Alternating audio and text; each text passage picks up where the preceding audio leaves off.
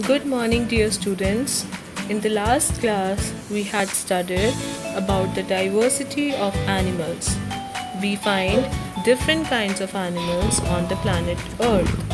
Some animals are big, for instance, blue whale, which is considered as the largest animal on this planet, while some animals are small. For example, insects like ants and bees are very small living creatures that we find on this planet. Some animals live in forest, for example, lion and tiger. Such animals are known as wild animals, while some animals live with man and also in farms. Such animals are known as domestic animals. So now children in this video we'll discuss about the different kinds of shelters of different animals. So tell me one thing, where do we live? Obviously in our houses. How does living in a house help us? The house protects us from heat, rain, cold, snow, wild animals and even theft.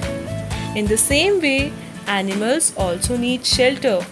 They need shelter to protect themselves from rain, snow, and their enemies.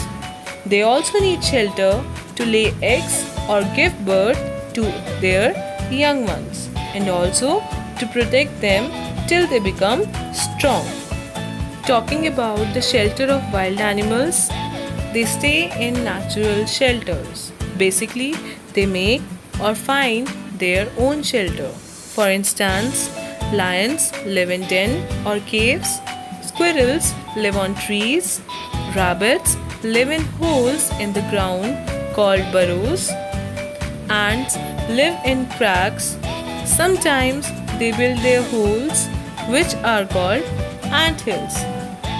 Talking about domestic animals and pet animals that live in man-made shelters.